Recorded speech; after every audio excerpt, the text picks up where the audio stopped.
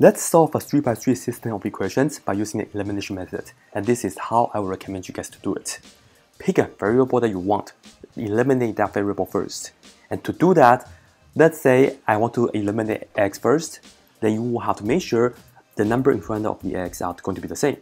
And then also, you have to make sure the sign alternates, meaning if the first number is positive, then the second number should be negative, and then the third one should be positive as well. Or you can also have negative, positive, negative. Let me demonstrate. So you can eliminate x, y, or z. Your choice. Pick the easy one. Sometimes there's an obvious easy case, but in this case, I think they are about the same difficulty. Let me just work with x to illustrate what I'm saying. The 2 right here, 1 right here, and then 3 right here. Before I continue, let me ask you this question. This is like 1 right here by the way. How are you going to add 1 half plus 1 over 1 plus 1 over 3? To add fractions, what you need is you have to figure out what's the lowest common multiple of the denominator. Meaning 2 goes into this number, 1 goes into this number, and 3 also goes into this number. And this number is going to be 6 in this case. So after you determine the LCD, you can change everything so that they all have the same denominator. And that's the idea. So that's the first step. We are going to identify what's the lowest common multiple. We're not talking about denominator here, so lowest common multiple of 2, 1, and 3. And we just talk about it. It's going to be 6. So, so this is your target. You want to make sure everything in front of the x is going to be 6. So I have 2 right here, 2x right here. 2 times 4 will be 6 the answer to that is 3. I will have to multiply 3 throughout this equation. And for the next one, I have to multiply, this is just 1, so I have to multiply by 6. 6 times 1 will be 6. But then earlier, this is a positive 6x. Let me multiply by negative 6 throughout this second equation. I want to produce negative 6x. And then the third one, 3 times 4 will be 6. The answer to that is 2. And as you can see, I'm going to produce 6x, negative 6x, and then positive 6x. The signs should alternate. It's going to be easier this way, trust me. Okay, I'm going to multiply out the equations. The first one, distribute the 3 throughout the first equation. I will have 6x, and then 3 times uh, 3y, it's going to be plus 9y. 3 times negative 2z, it's going to be minus 6z that's equal to, don't forget 3 times 4, which will be 12. Second one, negative 6 times x, it's negative 6x, and negative 6 times 3y, it's minus 18y.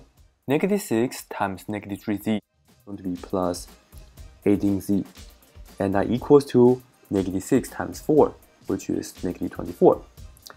Lastly, we have 2 times 3, which is positive 6x, 2 times negative 6y minus 12y, 2 times z is just plus 2z, and that equals to 2 times negative 3, which is negative 6.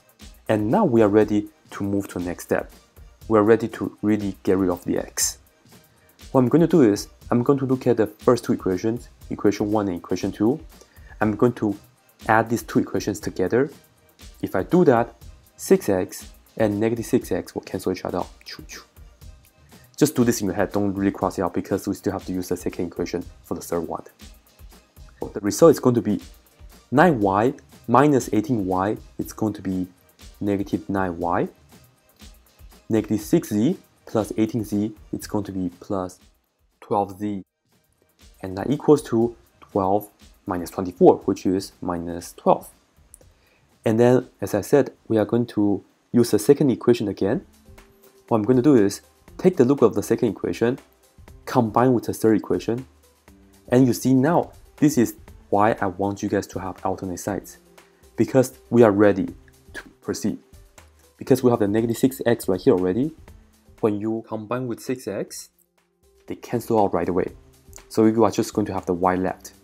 Negative 18y minus 12y is negative 30y 18z plus 2z is going to be plus 20z. And that's equal to negative 24 minus 6, and we have negative 30.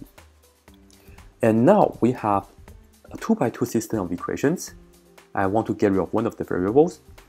Well, I think I have the 9 and 30. The 30 is too big. But if you look at 12 and 20, just like how we did it right here, I need to make sure the number in front of the z are the same. Let's look for the LCM, the lowest common multiple of 12 and 20. And the answer to that is 60.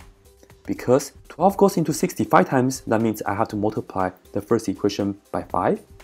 And for the second equation, 20 goes into 60 three times. 3 times 20 is 60.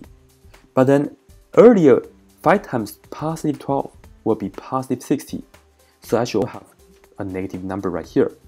I will multiply by negative 3 instead of positive 3. What we are going to get is going to be 5 times negative 4y. It's going to be negative 45y. 5 times 12z plus 60z. And that's equal to 5 times negative 12 minus 60. Second one, negative 3 times negative 30y, it's positive 90y. Negative 3 times 20z it's going to be minus 60z. That's equal to negative 3 times negative 30. It's equal to 90. And now we are going to combine these two equations and finally we'll be able to solve for one variable. After we cancel out the z's, we are going to end up negative 45y plus 90y is positive 45y, and that's equal to negative 60 plus 90, which is 30. And divide both sides by the number in front of the variable, divide both sides by 45. This way they cancel. I end up with 30 over 45. I can reduce this fraction. Uh, let me use 5 first. 5 goes into 30 6 times. 5 goes into 45 9 times. But I can reduce further. Let me use 3. 3 goes into 6 twice, 3 goes into 9 3 times. So what we're saying is y is equal to 2 over 3. And we got our variable done for the y. And then what we're going to do is we're going to do it backwards. So as you can see, this is kind of like a snake. So you go from all the way from the west coast and then you travel to the east coast and then you go down south. So what do you do now? you are going to go backwards. When you go backwards, you have to take the y, it's equal to 2 thirds with you. And you can plug into either the first equation or the second equation, doesn't matter. The first equation, the numbers are smaller, let me use the first equation. I'm going to plug in y back to this equation right here. I will write down negative 9 times y, and y we just found, it's going to be 2 thirds, so I'm going to put down 2 thirds right here. And then the rest is going to be the same. Plus 12z is equal to negative 12. Let's work out this part first. Negative 9 times 2 thirds. This is a negative 9 over 1. And 3 goes into 3 once. 3 goes into 9 3 times. Negative 3 times 2, we get negative 6 plus 12z is equal to negative 12 and then we can add 6 on both sides. Cancel this out. And we can bring down the 12z that will equal to negative 12 plus 6, which is negative 6. Then divide both sides by 12. Cancel out this 12. And we just solve for another variable, z. z is equal to negative 6 over 12, which is going to be negative 1 half. At the moment, this is looking really good. We got the y and we got the z. But don't forget the x. So I'm going to bring both the y and z together into any of these equations. Of course, you want to use the one that's the easiest. Perhaps I will choose this one. I will select this one. Let me write down x plus 3. For the y, I know it's going to be 2 thirds. So let me put down 2 thirds into this parentheses, and I will continue writing down minus 3 I see the z, so open the parentheses. z, as we found out, it's going to be negative 1 half, so I will multiply by negative 1 half, and that's equal to 4. And now let's work this out. This is going to be x plus 3 times 2 thirds is just going to be 2 because they cancel each other out, so we have 2. And right here, this is a negative 3 over 1, So you have to do negative 3 times negative 1, which is going to be positive. 3 times 1 is 3. 1 times 2 is 2. So 3 over 2 like this. And that's equal to 4. To solve for x plus 2 plus 3 half, it's equal to 4. You have many choices. Perhaps let's be consistent. Whenever you see a fraction, you can always multiply everything by the lowest common denominator. In this case, it's a 2. And let me do it this way. You can of course add the fractions up if you would like, but then as I said, let me do it this way. So I don't need to work with adding or subtracting fractions. Multiply everything by 2 so that this 2 and this 2 will get rid of each other. And the next equation will have no more fraction. We have 2x plus 4 plus 3 it's equal to 2 times 4 is equal to 8. That means we have 2x plus 7 it's equal to 8. I can just subtract 7 on both sides, get rid of this 7. I can get 2x equals to 1. 8 minus 7 is equal to 1. Then divide both sides by 2. Cancel out the 2's. And finally, I got the x as well. x is equal to 1 half. Alright, so as you can see that we solve for x, y, and z all together, and this is how you can write the answer. You can write the answer as a ordered triple. You put down x first, which is 1 half, and you put down y, which is 2 thirds, and you put down z, which is negative 1 half.